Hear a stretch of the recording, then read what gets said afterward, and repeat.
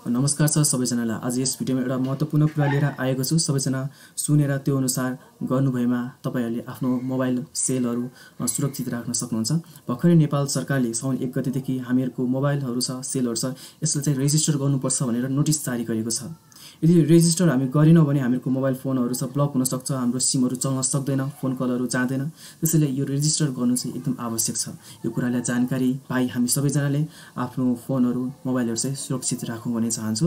यो रेजिस्टर चाहिँ हामी नेपालको फोन नेपालमै किनेको भए तापनि कति फोनहरू चाहिँ रेजिस्टर्ड भएको हुँदैन र विदेशबाट ल्याएको फोनहरू छ उपहारमा पाएको आफूले किनेको ल्याएको फोनहरू छ त्यो रेजिस्टर गर्नु चाहिँ एकदमै जरुरी छ। र रेजिस्टर कसरी गर्ने भन्ने कुरा आज यस भिडियोमा यहाँलाई म जानकारी दिन गइरहेको छु। सबैजनाले हेरिदिनु होला।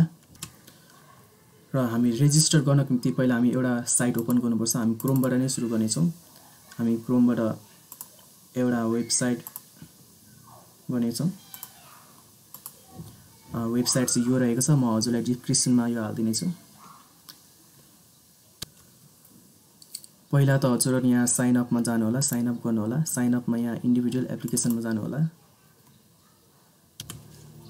र हजुर यस्तो इन्टरफेस आउँछ। यो इन्टरफेसमा यस्तो हजुरले देख्न सक्नुहुन्छ फर्मेटहरू यिनीहरू फिलअप गर्नु भएपछि हजुरको मोबाइल सेलहरू चाहिँ रेजिस्टर हुन जान्छ। त्यसो यो फिलअप गर्ने तरिका यहाँहरू सबैलाई थाहा होला। यहाँ नेपालीमा हजुर नेपाली हुनुहुन्छ नेपाली गर्नुहोला यदि फरेनर हो भने त्यो अनुसार गर्नुहोला अनि टाइप सेलेक्ट हजुर आइएमईबाट चाहिँ हजुर सजिलो हुन्छ यसमै गर्नु होला। अनि हजुरको मोबाइल कुन ब्रान्डको होला त? त्यो मोबाइल हजुरले यहाँ टाइप गर्न सक्नुहुन्छ हजुर स्यामसङ टेक्नो के हो? अनि मोबाइलको नम्बर छ भने त्यो मोबाइलको नम्बर यहाँ हजुरले राख्न सक्नुहुन्छ। अनि आइएमई नम्बर भनेको छ आइएमई नम्बर हजुरले यहाँ इनपुट गर्नुहोला। यदि आइएमई नम्बर थाहा छैन भने हजुरहरूले आफ्नो मोबाइलमा जानु भएर एबाउट फोनमा गएर थाहा पाउन सक्नुहुन्छ। र यसका छुट्टै एउटा ट्रिक पनि छ। हजुरले आफ्नो कलमा जानु भएर स्टार ह्याच जिरो सिक्स एच टाइप गर्नुभयो भने हजुरको आइएमई नम्बर देख्न सक्नुहुन्छ। यसरी हजुरले आफ्नो आइएमई नम्बरहरू हाल्नु भएर यहाँ राख्न सक्नुहुन्छ। Application name. हजुरको एप ए एप्लिकेन्ट नेम हजुरको नाम यहाँ राख्नुहोला एप्लिकेसन एड्रेस कहाँ बस्नुहुन्छ त्यो ठाउँको ठेगाना यहाँ राख्नुहोला आफ्नो कन्ट्याक्ट नम्बर राख्नुहोला यहाँ। अनि हजुरको नागरिकताको यहाँ आइडी नम्बर पनि राख्नुपर्छ। र यहाँ हजुरले यहाँ सिटिजनसिप राख्नु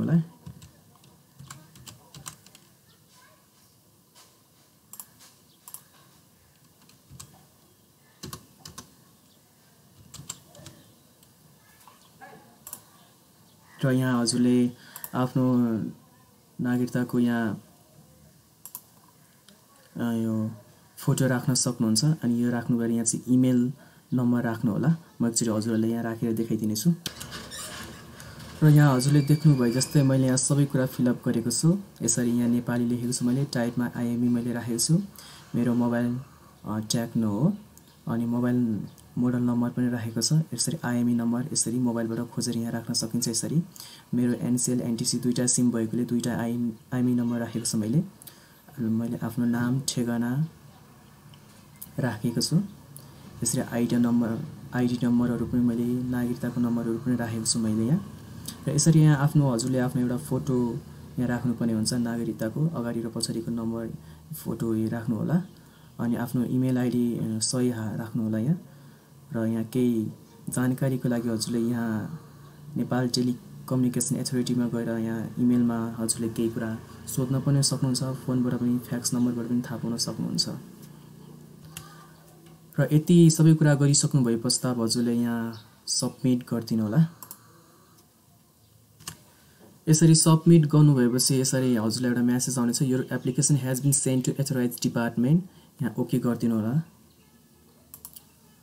र यसरी हजुरको एप्लिकेसन यो भर्नु भएर हजुरले सब्मिट गरिदिनु भएको छ। र हजुरलाई केही समयपछि यिनीहरूले यो म्यासेज पाएपछि